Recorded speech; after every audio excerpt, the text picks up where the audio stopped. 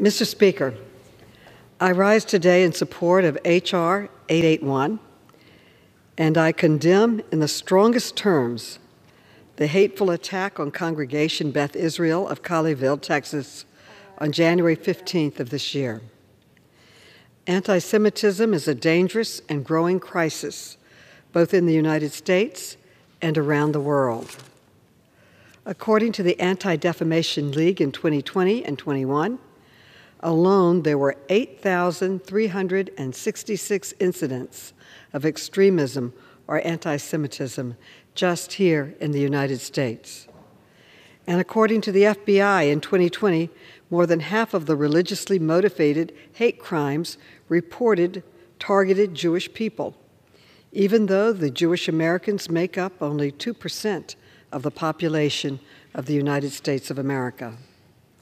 This is a staggering level of anti Semitism. Tragically, on January 15, 2022, violent anti Semitism became all too real for the congregation Beth Israel in Colleyville, Texas. Four individuals were taken hostage simply for being Jewish. Although all hostages were eventually rescued safely, this attack never should have happened in the first place. After the defeat of Nazi Germany in 1945, the revelations of the barbarity and scope of the Holocaust, the world vowed never again. Yet the hate and bigotry that drove the Nazis to commit genocide is still alive and well. This is something we simply cannot allow to continue. I have been fighting hatred and anti Semitism, a personal mission.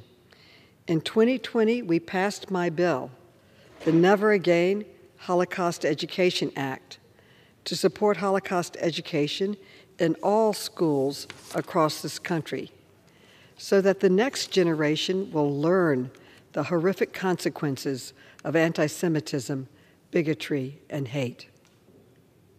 Freedom of religion is one of the most basic rights afforded to every American in the First Amendment of our Constitution.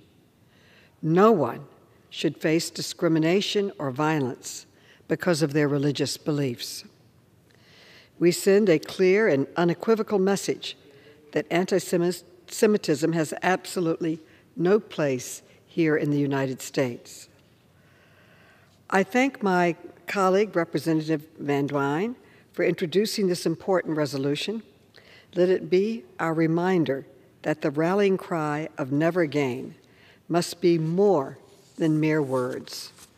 It is our duty to come together to denounce anti Semitism and hate, and this resolution does just that. I encourage all of my colleagues on both sides of the aisle to vote yes, and I reserve the balance of my time.